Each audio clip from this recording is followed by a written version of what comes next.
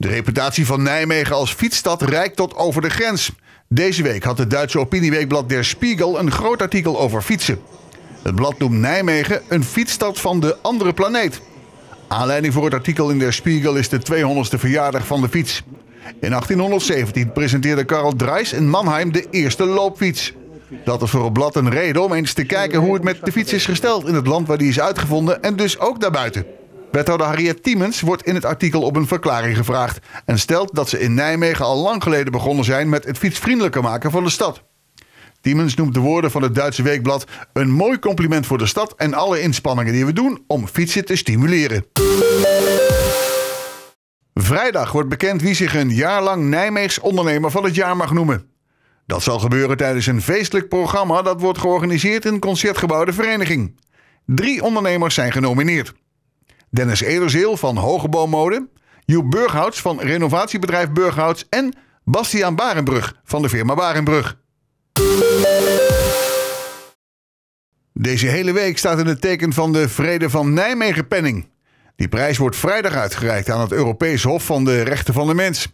Zaterdag wordt op het Marienburgplein een vluchtelingenboot nagebouwd. Uh, zaterdag gaan we hier op het plein uh, voor Lux gaan we de omtrek van uh, schip Meneer Vrijdag van rederij Lampedusa op het plein zetten. En we gaan proberen om 282 mensen bij elkaar te krijgen om die boot op te vullen.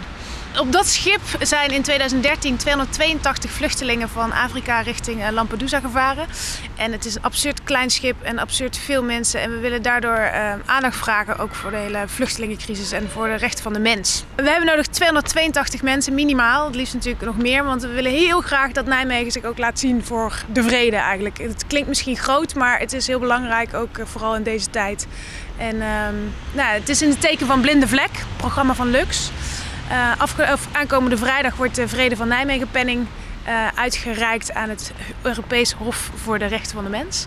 En uh, weet je, het lijkt heel vanzelfsprekend dat wij hier uh, in vrede leven met elkaar, maar ehm, dat is niet zo. Het kan zomaar voorbij zijn als er vreemde dingen gebeuren in de wereld en die gebeuren. Om vier uur wil ik heel graag dat zoveel mogelijk mensen hier op het plein staan. Um, kort programma met uh, Hendrik Jan Derksen komt iets vertellen over uh, nou ja, de weg van de vluchteling.